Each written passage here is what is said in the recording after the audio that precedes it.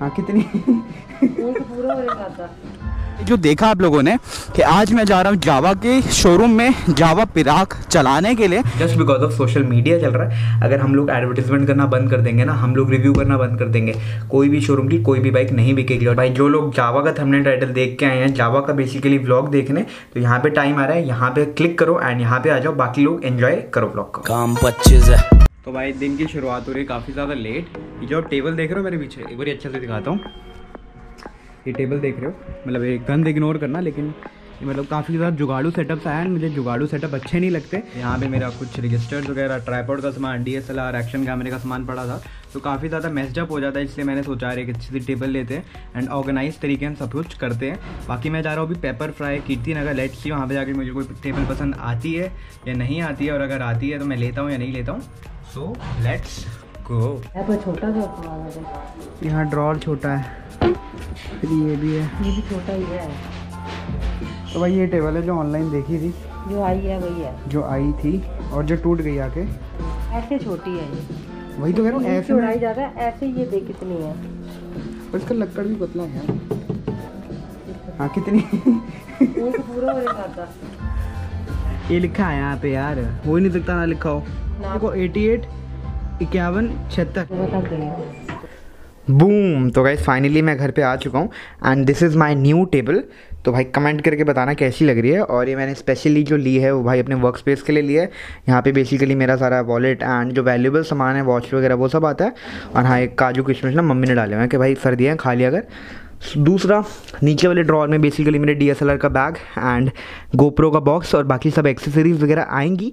अभी कुछ paper vapour पड़े बिल वगैरह तो उनको साइड कर देते हैं। एंड यहाँ पे बेसिकली मैं बैठ के मस्त काम करूँगा। आप सब लोग सोच रहे हो कि भाई कौन से खेद हो रखे हैं? यहाँ पे एक्चुअल में जो अगर मैं आप लोगों को दिखाऊँ थोड़ा।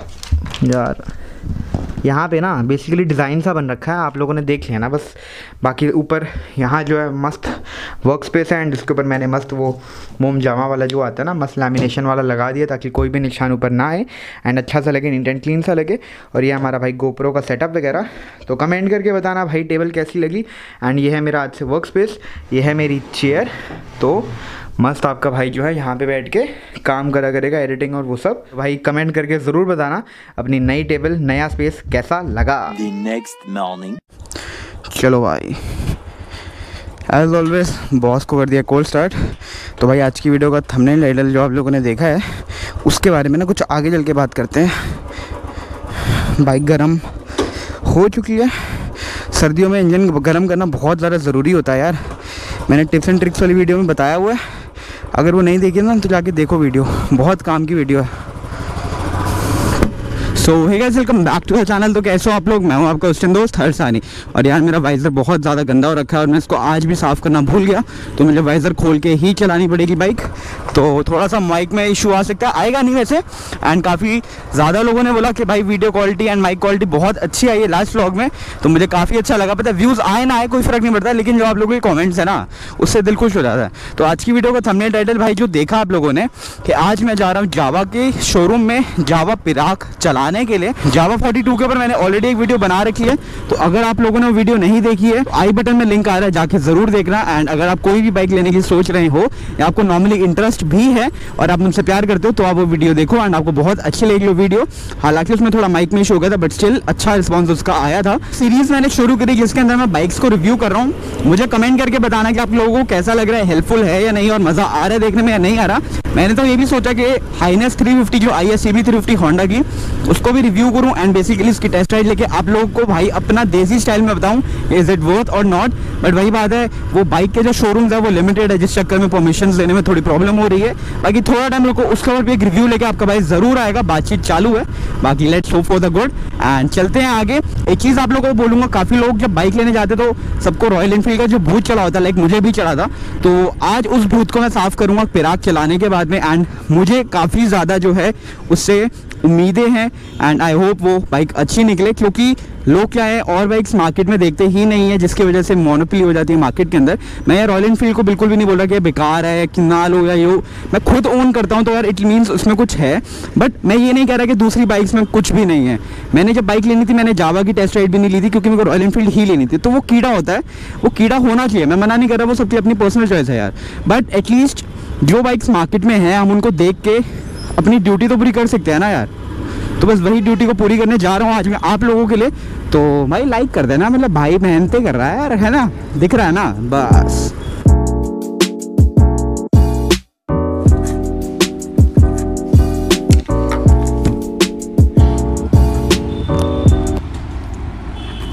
तो भाई मैं तो अभी जावा के शोरूम में।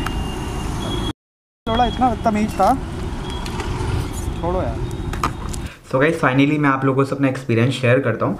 यहाँ पे कोई मैं किसी को डिफेम करने की कोशिश नहीं कर रहा, जहाँ पे जस्ट मैं आप लोगों से अपना एक्सपीरियंस शेयर कर रहा हूँ एंड बिल्कुल न्यूट्रल होकर शेयर करूँगा अपना एक्सपीरियंस को। यहाँ पे मैं कोई भी ब्रांड को कंपेयर नहीं करूँगा, कोई भी सर्विस सेंटर का, कोई भी शोरूम का नाम नहीं लूँगा, बस एक ब्रांड का नाम लूँगा जावा जावा पर्सनली मुझे क्यों पसंद नहीं है?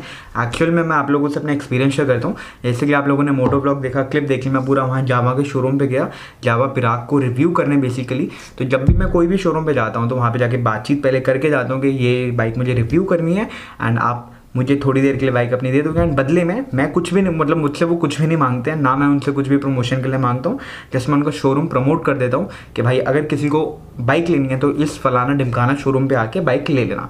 एंड जो भी शोरूम्स में आज तक गया मेरा एक्सपीरियंस बहुत अच्छा रहा है, लेकिन इस बार वेस्ट दिल्ली के अंदर मैं आप लोगों को बताऊँगा, एक ही शोरूम है जावा का, वहाँ पर मैं गया, नाम नहीं लूँगा जावा के शोरूम का, कौन सा शोरूम था मैं वहाँ गया। वहाँ पे जाकर के जो ओनर था मैनेजर था, जो भी बंदा था भाई, इतना बदतमीज इतना बदतमीज। अब आपके भाई से कोई भी बात करता है ना तो मैं बहुत तमीज़ से बात करता हूँ। लेकिन अगर कोई बदतमीज़ी दिखाता है तो उसकी लेने की देनी कर देता हूँ अच्छे से। क्या हुआ कि काफ़ी यूट्यूबर्स जो बच्चे बुच्चे हैं, क्या करते हैं शोरूम में चले आते कोई भी बाइक सॉरी ये मेरा गोप्रो गिर गया था। कोई भी करोल बाग में, कोई भी मतलब शोरूम में चले जाते हैं अपनी जो वैल्यू है यूट्यूबर की, गिरा देते हैं। जिस चक्कर में जो बाकी यूट्यूबर्स हैं, जो जेनुअनली इंटरेस्टेड हैं जेनुअनली अच्छा कंटेंट देना चाहते हैं तो जो शोरूम वाले हैं, वो अपने वहाँ पे उनके भाव बढ़ जाते हैं कि भाई, ये तो यूट्यूबर नॉर्मल सा बंदा है। हम क्या करेंगे? हम तो सब बदतमीजी से बात करेंगे एक्सेप्टेबल है। भाई, आपके जो शोरूम चल रहा है, आपकी जो बाइकें बिक रही है आपको कुछ भी हो रहा है ना तो वो just because of advertisement just because of media just because of social media चल रहा है, अगर हम लोग एडवर्टीजमेंट करना बंद कर देंगे ना, हम लोग रिव्यू करना बंद कर देंगे। कोई भी शोरूम की कोई भी बाइक नहीं बिकेगी, और जो बिकेगी ना, वो हमारे दम पे बिकती है। मैं इतना मुँह ठोक के कहता हूँ, मैं हूँ डीनो वॉल्ट है। बुलेट गुरु है। कोई भी चैनल है यूट्यूब का, हम लोग रिव्यू करते हैं, इसलिए बाइकें बिकती है। हमारा जो पर्सनल एक्सपीरियंस होता है, उस पर बाइकें बिकती है। नाना करते हो, मैं बुरा मत मानना बट मैं रॉयल इनफील्ड की लिटरली बता रहा हूँ। कम से कम मुझसे हज़ारों लोगों ने पूछा डीएम्स करके, भाई, ये वाली बाइक लूँ, ये वाली बाइक लूँ। मैं नहीं बोलता रॉयल एनफील्ड लो। सबकी बातें समझता हूँ, सुनता हूँ कि इसकी क्या नीड है। उस हिसाब से उसे रिकमेंड करता हूँ। ज़रूरी नहीं मैं रॉयल एनफील्ड छूटते रॉयल इनफील्ड छूटते रॉयल एनफील्ड नहीं। जिसकी नीड जावा की है, मैं जावा रिकमेंड करता हूँ। जिसकी नीड होंडा की है, मैं होंडा रिकमेंड करता हूँ। जिसकी नीड आर फाइव के मैं वो भी बोलता हूँ। ज़रूरी नहीं है, मैं पहले सुनता हूँ क्या नीड है। तो यहाँ पे सौ बातों के लिए एक बात मैं कंक्लूड करना चाहूँगा। वो यही बोलना चाहूँगा भाई जावा की जो सेल्स है आफ्टर सेल्स है, भाई हद बेकार है। मेरे पास जितने डीएम आए हैं ना सबने बोला कि भाई मेरा एक्सपीरियंस बहुत बेकार है। पहली बात तो इनके शोरूम्स लिमिटेड सेकेंडली इनके जो शोरूम्स है, बहुत दूर दूर है। थर्डली इनके सर्विस सेंटर बहुत दूर दूर है। मैं दिल्ली के रहता हूँ, दिल्ली के बीच में रहता हूँ, लेकिन आसपास एक शोरूम है और रॉयल इनफील्ड के कम से कम पाँच शोरूम है मेरे घर के पास में। तो यहाँ पर मैं ये नहीं बोलूँगा कि भाई रॉयल इनफील्ड बढ़िया है जावा बेकार है। नहीं, मैं जस्ट सर्विस की बात करूँगा। बाइक जावा की बहुत बहुत बढ़िया है। बहुत बढ़िया बाइक है। मैं कहता हूँ लिटरली जो चलाने का मज़ा है, जो पावर है, जो टॉक है, जो प्राइसिंग है, सब कुछ एक्सलेंट है। लेकिन जब तक जावा अपनी जावा से कोई देख रहा है, अगर तुम लोग अपनी आफ्टर सेल्स नहीं सुधारोगे ना, भाई कुछ नहीं होगा। मैं कह रहा हूँ तुम्हें ये चीज़, और बस यही कह रहा हूँ, किसी को भी डिफेम करने की कोशिश नहीं कर रहा था, अपना एक्सपीरियंस शेयर कर रहा था। कोई भी शोरूम में जाते हो ना, अगर आपको लगता है कि भाई वो कोई भी शोरूम रॉयल एनफील्ड हो जावा हो होंडा हो कोई भी शोरूम हो। अगर वो शोरूम वाला बंदा तुम्हें लगता है, भाई, ढंग से बात नहीं कर रहा, तुमसे टाइम नहीं दे रहा, तुम जो पूछ रहे हो, तुम्हें बता नहीं रहा, उठो और चले जाओ वहाँ से। शोरूम की कमी नहीं है भाई। रॉयल इनफील्ड के दस शोरूम है दिल्ली के अंदर। दस तो कम कह रहा हूँ, ज़्यादा ही है। बहुत शोरूम है, कहीं भी जाओ, लेकिन उस बंदे से बाइक मत लो। ना करने से फ़ायदा आप लोगों को ही है, उसको नुकसान ही होगा, उसका एटीट्यूड उसकी जो आफ्टर सेल्स है ना, उसको ध्यान देना पड़ेगा। तो भाई, अगर कोई भी जावा से देख रहा है ना तो भाई, एक चीज़ बोलूँगा bikes are amazing after sales बस यही बोलना चाहूँगा। और फ्रस्ट्रेशन थी काफ़ी ज़्यादा, जिस चक्कर में मूड ख़राब सा हो रखा था बट इनसे कोई फ़र्क नहीं पड़ता मुझे यार, इनके करने से, इनके यूट्यूब इनसे कुछ भी नहीं होता। आप सब लोग मुझे देखते हो, आप सब लोग मुझे पसंद करते हो, इसलिए मेरा चैनल चलता है। चलता है, नहीं चलता है बात की बात है। लेकिन आप लोग मेरी रिस्पेक्ट करते हो, और जो लोग मेरा रिस्पेक्ट करेगा, भाई, मैं उसको कॉन्टेंट क्या, दुनिया फाड़ के कॉन्टेंट ला के दूँगा। लेकिन ऐसी बदतमीजी कर रहे हैं, जो ऐसे कर रहे हैं, उनको प्रमोट करके, ऐसे ललुओं पलुओं को प्रमोट करके ना, भाई अपने चैनल की मैं वैल्यू नहीं गिराऊँगा। तो भाई, सारी बात की एक बात एंडिंग में यही बोलूँगा, कोई भी शोरूम पे जा रहे हो, चाहे आप हायाबूसा लेने जा रहे हो, चाहे आप स्प्लेंडर लेने जा रहे हो, चाहे आप बुलेट लेने जा रहे हो, चाहे आप जावा लेने जा रहे हो, अगर आपको जो शोरूम का बंदा है, वो नॉलेज नहीं दे रहा एक्सपीरियंस अच्छा नहीं दे रहा don't buy the bike from him बहुत शोरूम है, कहीं और जाओ, वहाँ से बाइक लो। तो जो भी बाइक लो ना भाई, सोच समझ के लेना, क्योंकि आफ्टर सेल्स बहुत ज़रूरी है at the end consumer is the king and अगर स्कूल में पढ़ा होता तो भाई आज तुम तमीज़ से बात करो तो लोगों से कंज्यूमर से। एंड बस बाकी इतना ही बोलूँगा। तो आज की वीडियो को इतना रखते हैं। पता है थोड़ा सा भाई मतलब मैन टू मैन टॉक हो गई आप लोगों से। लेकिन ये करनी भी ज़रूरी थी, क्योंकि भाई अगर मैं अंदर ही बातें भरता जाऊँगा ना तो फिर मज़ा सा नहीं आएगा। अब मैंने सारी बातें निकाल दी ना, अब इस गोप्रो से मस्त मोटो ब्लॉग शूट करेंगे। एंड एक राइड की प्लान कर रहा हूँ, लेकिन लेट से एग्जीक्यूट होती है, नहीं होती। मुझे पता है, मैं हमेशा बोलता हूँ कि राइड आएगी राइड आएगी राइड आएगी, लेकिन वो नहीं आती है। तो आज की वीडियो को इतना रखते हैं। मिलते हैं किसी और दिन, किसी और वीडियो में। अगर वीडियो अच्छी लगी तो वीडियो को लाइक कर देना, चैनल को सब्सक्राइब करना या मत करना, वो आपकी मर्ज़ी है। वीडियो को लाइक, डिसलाइक करके आप लोग अपना सपोर्ट मुझे शो कर रहे हो। जो बात मैंने करी वो सही है या गलत, इस लाइक या डिसलाइक के रेशियो से मैं समझ जाऊँगा कितने लोग कह रहे सही, कितने लोग कह रहे गलत। बाकी कोई भी सुझाव है कमेंट सेक्शन खुला हुआ है, वहाँ पर आगे अच्छे से कमेंट करो। आपका भाई सारे कमेंट्स का रिप्लाई देने की कोशिश करेगा।